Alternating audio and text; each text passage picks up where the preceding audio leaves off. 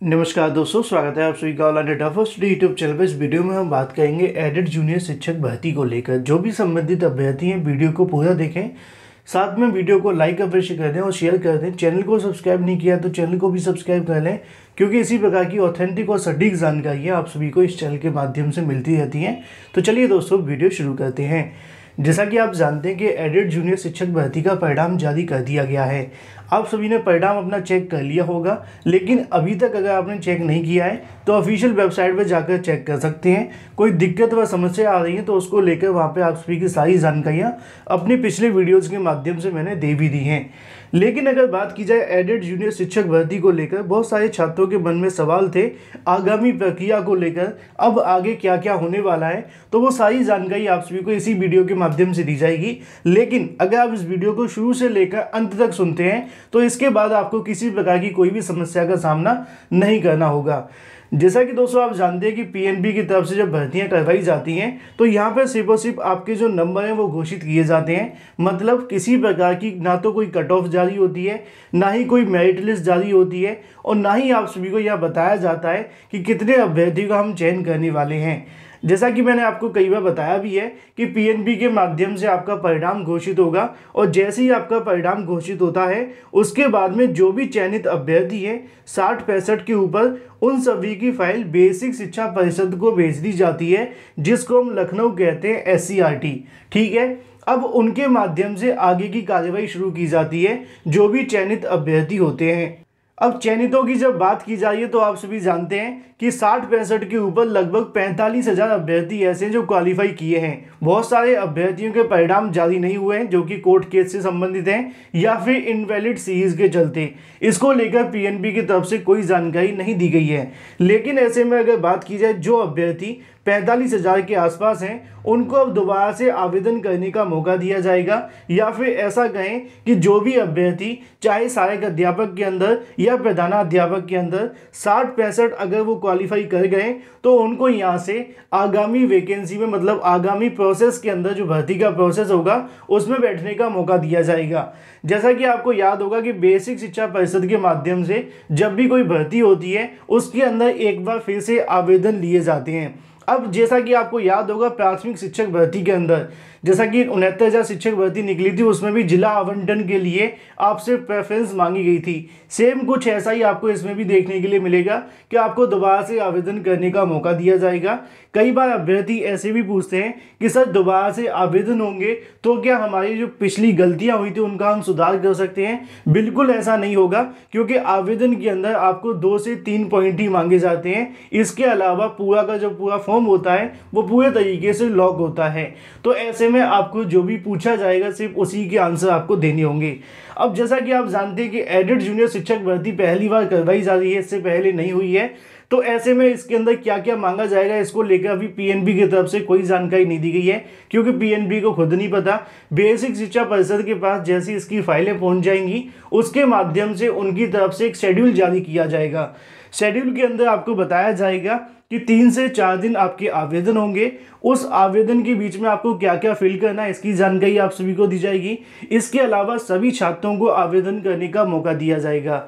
सभी in the sense अगर बात की जाए, जो भी साठ पैंसठ पे क्वालिफाई है, भले उसके नंबर कम है, भले उसकी अकेडमिक कम है, कोई फ़र्क नहीं पड़ता है। उन सभी को यहाँ पे आवेदन करना होगा। जितने भी अभ्यर्थी यहाँ पे आवेदन करते हैं, उस आवेदन के आधार पर, जैसे कि पैंतालीस हज़ार अभ्यर्थी साठ पैंसठ पर क्वालिफाई किए हैं लेकिन अगर चवालीस हज़ार अभ्यर्थियों ने इसके लिए आवेदन कर दिया तो चवालीस हज़ार अभ्यर्थियों में से अठारह सौ चौरानवे अभ्यर्थियों को ऊपर से उठाया जाएगा। मेरिट के आधार पर कट ऑफ़ के आधार पर, जैसा कि आप सभी को याद होगा कि साठ पैंसठ सिर्फ़ और सिर्फ़ इसलिए घोषित की गई है कि आप सभी यहाँ से क्वालिफाई हो जाएँ। इसके बाद में आपकी एक अलग से नई कट ऑफ़ बनाई जाएगी, जो कि टोटल क्वालिफाई अभ्यर्थियों में देखने के लिए मिलेगी। एग्ज़ाम्पल के तौर पर कि सबसे ज़्यादा पैंतालीस हज़ार में अगर किसी अभ्यर्थी का गुणांक बनता है अस्सी तो एक उस अभ्यर्थी का चयन कर लिया जाएगा, फिर नीचे आया जाएगा, दूसरा अभ्यर्थी का गुणांक बनता है सेवेंटी नाइन तो उसका यहाँ पे चयन होगा। सेम नीचे आते आते अठारह सौ चौरानवे अभ्यर्थियों का चयन होगा, जो कि सहायक अध्यापक साथ में प्रधान अध्यापक के होंगे, और जो भी अंतिम अभ्यर्थी का चयन होता है, वो अंतिम कट ऑफ़ इस भर्ती की घोषित होगी। हालाँकि पीएनपी के माध्यम से कट ऑफ़ दोबारा नहीं बताई जाती, लेकिन मैं आपको अवश्य बता दूँगा। तो यहाँ तक आपको समझ में आ चुका होगा कि आगामी समय के अंदर एस की तरफ़ से एक नया कार्यक्रम जारी किया जाएगा, जिसके अंदर साठ पैंसठ से प्लस वाले सभी अभ्यर्थियों को आवेदन करने होंगे और जो भी अभ्यर्थी आवेदन करते हैं, उसमें से उन सभी की मेरिट के आधार पर एक मेरिट लिस्ट जारी की जाएगी, जो कि पहली मेरिट लिस्ट होगी, जिसमें जितने भी अभ्यर्थियों की यहाँ पे नियुक्तियाँ होती हैं, उस नियुक्ति के बाद में अगर सीटें खाली रहती हैं तो वेटिंग लिस्ट वाले छात्रों को भी मौका मिलेगा। हालाँकि इस पर हम बाद में बात कर लेंगे। तो ये तो दोस्तों बात हो जाती है आवेदन तक की। मैंने आपके सारे सवालों के जवाब दे दिए। अब जैसा कि आप जानते हैं कि पीएनपी के माध्यम से रिक्त पदों की जानकारी मांगी जा रही है। रिक्त पदों की जानकारी मिलने के बाद में कहाँ पे कितने पद खाली हैं, किस विद्यालय के अंदर कितने पद खाली हैं, किस विषय के अंदर कितने पद खाली हैं, और भी तमाम चीज़ों की जानकारी पी को मिलती है। उसके बाद में आगे के प्रोसेस के आधार पर बेसिक शिक्षा परिषद के माध्यम से कार्यवाही शुरू कर दी जाएगी। कई अभ्यर्थियों के माध्यम से ये भी पूछा जा रहा था कि इस प्रोसेस में कितना लंबा समय लग सकता है। जैसा कि आप जानते हैं कि आपका परिणाम घोषित हो गया है। अब बेसिक शिक्षा परिषद के माध्यम से उम्मीद है कि अगले सप्ताह आपके आवेदन को लेकर पोर्टल खोल दिया जाएगा। अगर अगले सप्ताह आवेदन के लिए आप सभी की मांग की जाती है तो दो से तीन दिन का समय मिलेगा और उसके बाद में जो भी अभ्यर्थी आवेदन करेंगे, उसके तीन से चार दिनों के बाद में आपकी मेरिट लिस्ट जारी हो जाएगी।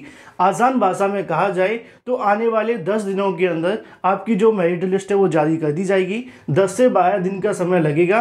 टोटल मेरिट लिस्ट को जारी होने में और मेरिट लिस्ट के अंदर उन्हीं अभ्यर्थियों का नाम होगा जो काउंसलिंग करवाने जाएँगे, क्योंकि आवेदन करने वाले छात्रों की संख्या तो चवालीस हज़ार होगी, लेकिन जो अभ्यर्थी काउंसलिंग के लिए जाएँगे, वो मेरिट लिस्ट के आधार पर उनको बैठने का मौका दिया जाएगा। अगर आपका नाम मेरिट लिस्ट में आता है तो। हालाँकि बहुत सारे छात्रों के मन में मेरिट को लेकर भी सवाल हैं। जैसा कि मैंने हमेशा आप सभी को कहा है कि आपके मन में अगर कोई सवाल होगा तो उसका आंसर आपको ऑनलाइन अड्डा फॉर स्टडी चैनल के माध्यम से ही मिलेगा। तो मेरिट से संबंधित जितने भी आपके सवाल हैं कमेंट करके आप सभी पूछ सकते हैं। इन सभी की जानकारी आप सभी को दी जाएगी, क्योंकि मेरिट बनाने का जो काम होगा बेसिक शिक्षा परिषद के माध्यम से होगा। जब वहाँ पे कहीं ना कहीं फाइलें पहुँच जाएँगी, उसके माध्यम से सारी जानकारी आप सभी को एक एक करके मैं हमेशा देता रहूँगा, जैसी अधिकारियों से मिलती हैं। क्योंकि अभी तक जो आपकी मेरिट बनने वाली है, उसको लेकर मैं आपको बता दूँ कि आपकी जो भी कहने की साठ पैंसठ परसेंट पर आप क्वालिफाई करने के बाद में जितने नंबर आप लेकर आए हैं, उसका साठ परसेंट, इसके अलावा आपकी अकेडमिक का चालीस परसेंट उस 40 में से आपकी एकेडमिक मान लीजिए कि 33 है, या 30 है, या 28 है, या 24 है। इसके अलावा अगर देखा जाए तो लिखित परीक्षा के अंदर 105 है, उसका 60 परसेंट आप सभी जोड़ेंगे। टोटल को जोड़कर आपका जो भी यहाँ बनेगा, उसको गुडांक कहा जाएगा। तो ऐसे में मेरिट कैसे बनने वाली है, किस प्रकार बनेगी, आगे कौन कौन सी चीज़ों को फॉलो किया जाएगा, इसके बारे में जानकारी बेसिक शिक्षा के अधिकारियों के माध्यम से दी जाएगी। क्योंकि अभी उनके पास फ़ाइल नहीं पहुँची है तो ऐसे में उनकी तरफ़ से बताया नहीं गया है। लेकिन मैं आप सभी के लिए जल्द इसको लेकर एक एक करके सभी सवालों के जवाब दे दूँगा। तो यहाँ तक सारी चीज़ें बिल्कुल क्लियर हो जाती हैं। कई छात्रों के मन में सवाल ये भी था कि मेरिट लिस्ट के अंदर क्या आरक्षण का पालन किया जाएगा? तो कोई भी भर्ती हो, आरक्षण के बिना तो पूरी होने से रही। ऐसे में अगर बात की जाए मेरिट लिस्ट से संबंधित जो भी जानकारियाँ हैं मैंने आपको एक ही करके बता दी हैं लेकिन कुछ ऐसे सवालों के जवाबों को मेरिट कैसे बनाने वाले हैं इसको लेकर अधिकारियों की तरफ़ से बताया जाएगा। बिल्कुल आरक्षण का आप सभी का पालन हंड्रेड परसेंट देखने के लिए मिलेगा। आरक्षण का पालन कैसे होता है वो आप सभी को पता होना चाहिए कि टोटल नंबर ऑफ़ सीटें कितनी हैं किस कि, किस मतलब श्रेणी के अंदर कितनी सीटें आएँगी उसके आधार पर यहाँ से फॉलो किया जाएगा। बहुत सारी चीज़ें यहाँ पे मैटर करेंगी। पहले आप सभी शासन आदेश आने तक का इंतज़ार करें, क्योंकि शासन आदेश के अंदर जो भी चीज़ें लिखी जाएँगी, उसके आधार पर आगे की प्रक्रिया शुरू होगी। एक एक करके मैं आप सभी के सभी सवालों के जवाब दे रहा हूँ। मुझे उम्मीद है कि आगे की संपूर्ण प्रक्रिया को लेकर आपको पूरी जानकारी होगी होगी। बाकी शासन आदेश जारी होने के बाद में, इसके बाद क्या क्या होने वाला है मेरिट को लेकर कट ऑफ़ के बारे में काउंसलिंग को लेकर, वो भी जानकारी आप सभी को दी जाएँगी। लेकिन वीडियो को आप सभी लाइक अवश्य कर दें, साथ ही शेयर कर दें, और चैनल को सब्सक्राइब करना बिल्कुल ना भूलें। फ़िलहाल वीडियो के माध्यम से इतना ही। Thank you for watching this video